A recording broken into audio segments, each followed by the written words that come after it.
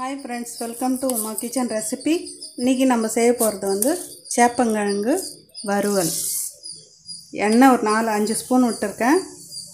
கடுகு சீரகம் சேர்த்துருக்கேன்.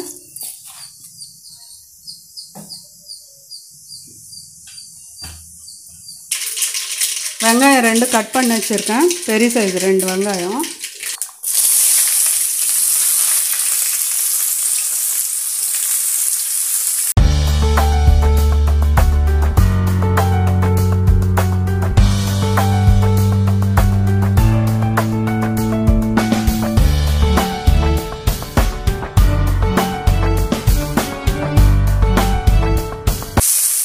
அரை ஸ்பூன் மஞ்சள் தூள்.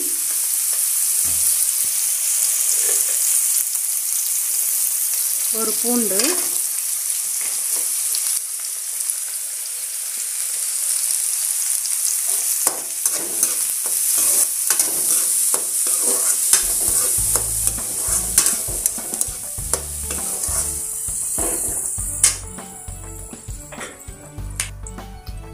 வெங்காயம் வந்து பெரிய வெங்காயம் ரெண்டு சேர்த்துருக்கோம். கிரேவி வ வேணுன்றதுக்காக. வேண்டாம் கம்மியாக வேணும்னா ஒரு வெங்காயம் சேர்த்துக்கோங்க. வெங்காயம் வதங்கிச்சுங்க ரெண்டு வெங் ரெண்டு தக்காளி சேர்த்துக்கிறேன்.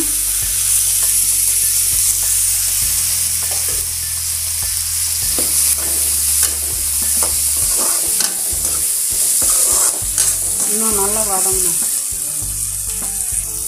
மூணு நிமிஷம் அப்படி போட்டு மூடிட்டு கொஞ்சம் நேரம் வதங்கின அப்புறம் எடுத்துருங்க.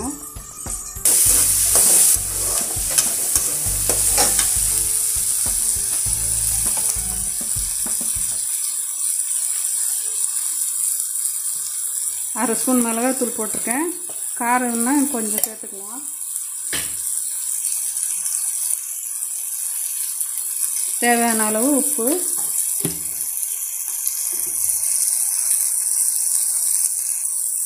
கொஞ்சமாக தண்ணி ஒரு கால் டம்ளர் தண்ணி சேர்த்துக்கோங்க.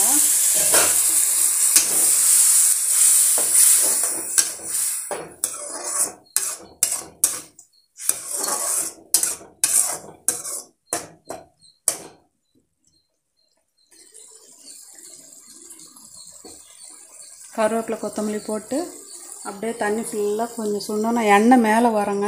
அந்த டைமில் பார்த்து எடுங்க. பிறகு தான் சேப்பங்கிழங்கு சேர்க்கணும்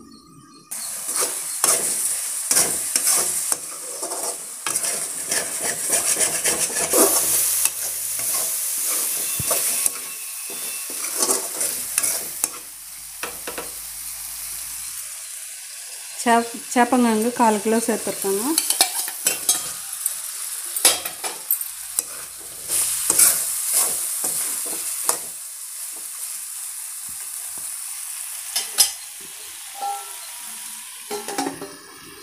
ஒரு மூணு நிமிஷம் மூடி வச்சுருக்கணுங்க. தண்ணி சுண்டுற வரைக்கும். பாருங்கள் இப்போ வந்து தண்ணிக்குள்ளே சுண்டிடுச்சு பாருங்கள்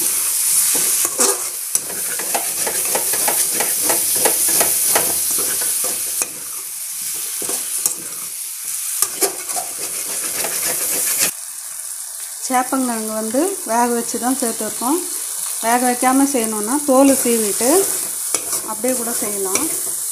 நல்லா அது வந்து குழகுழப்பு தன்மை வராது. கொஞ்சம் குழகுழப்பாக இருக்கும். ஆனால் டேஸ்ட்டாக இருக்கும். நான்ஸ்டிக் தவாவில் பண்ணோம்னா கடாயில் பண்ணோம்னா இந்த மாதிரி அடி பிடிக்காது. நல்லா ஒட்டாமல் வரும். ஆனால் இந்த அலுமினிய கடாயில் பண்ணோம்னா இதே மாதிரி தான் அடி பிடிக்கும். நம்ம ரொம்ப பிடிக்காமல் ஸ்லோ ஃப்ளேமில் வச்சுட்டு ஃபுல்லாக அடி பிடிக்கிறதெல்லாம் எடுத்துடணும்.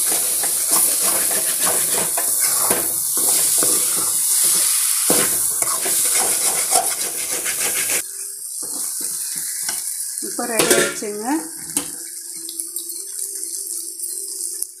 சேப்பங்கிழங்கு பொரியல் ரெடி ஆகிடுச்சுங்க பாருங்க.